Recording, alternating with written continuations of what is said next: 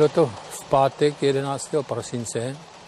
Já jsem dělal návěstního mistra na telefonní ústředně v Tišnově a hned po nástupu do směny, krátce po 6. hodině, přišel první telefon, kdy ta spojovatelka mě hlásí, tady někdo volá, že padají vagóny někde z meze.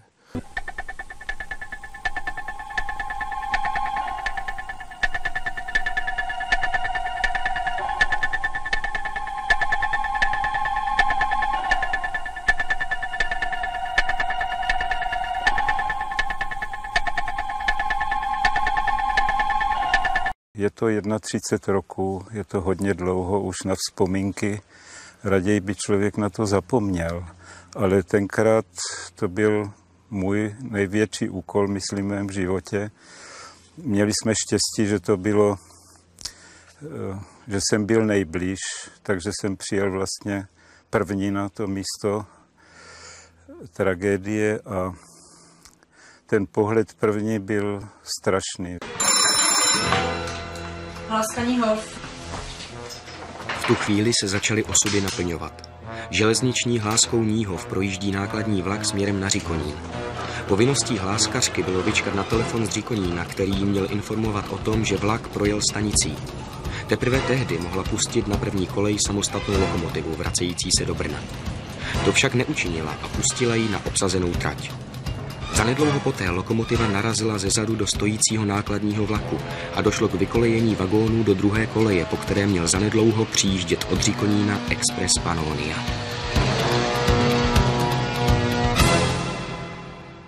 Chod vlaku prebiehal eh, zo stanice Bratislava hlavné až po miesto nehody bez závad. Vchodové návestidlo Rikonine bolo na voľno, odchodové voľno, výpravca bol vonku, my sa pozdravili, pozdravili a jak sme sa blížili von z Rikonína, u vchodového návestidla stal nákladný vlak. My jsme měli být už dávno v Brně, měli jsme spoždění. Ten rychlík, co jel tam nahoru, měl taky spoždění 20 minut.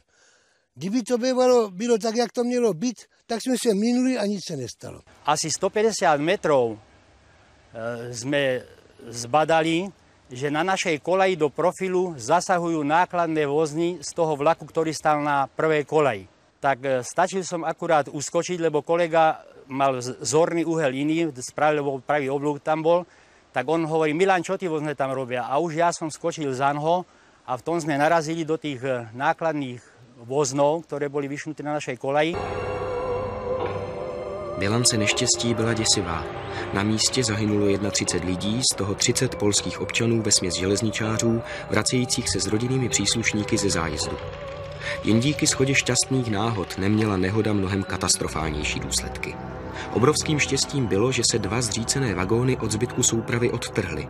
V opačném případě by totiž sebou strhly i zbylých devět plně obsazených vozů. Bezprostřední příčinou bylo především selhání eh, hláskařky tehdy na hlásce Níhov, eh, která dovolila jízdu vlaku do obsazeného oddílu. Následkem čeho, čehož došlo eh, vyšinutí vozu u nákladního vlaku, do kterého lokomotiva narazila a v protisměru prostě do toho najel rychlík a tím pádem došlo k nejhoršímu. Jak se vlastně celé železniční neštěstí stalo? U vjezdového návěstidla asi 300 metrů před Říkonínem zastavil nákladní vlak. Jeho konec zůstal stát na viaduktu.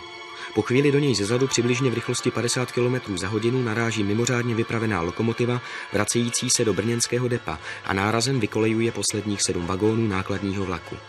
Ty zůstávají na druhé koleji, po které se po chvíli rychlostí 90 km za hodinu přiřítí Express Pannonia. Ve stanici bylo zabezpečení elektromechanické, což na tehdejší dobu bylo dost spolehlivé. Ale eh, traťové úseky byly zabezpečovány pouze telefonicky. To znamená, že tento úsek byl rozdělený eh, mezi stanici Říkonín a Vlkov pouze hláskou Níhov, eh, kde hláskař obsluhoval takzvané oddílové návěstidlo, které směl přestavit do polohy volno teprve až dostal odhlášku. V tomto směru ze stanice Říkonín a v opačném z Vlkova.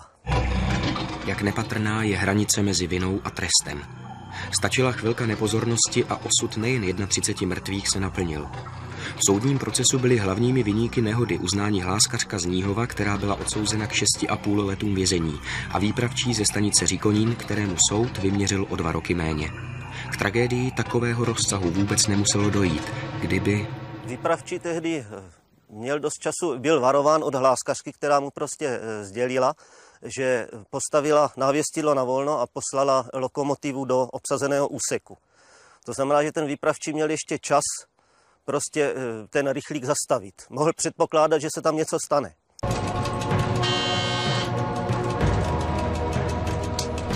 Bilance neštěstí 31 mrtvých, 15 zraněných, z toho 13 těžce. Celková hmotná škoda činila 13 milionů korun. Dost tragická bilance na to, aby se už nic podobného neopakovalo. Do montáže automatického bloku v roce 1982 zde však došlo ještě k mnoha vjezdům na obsazenou kolej.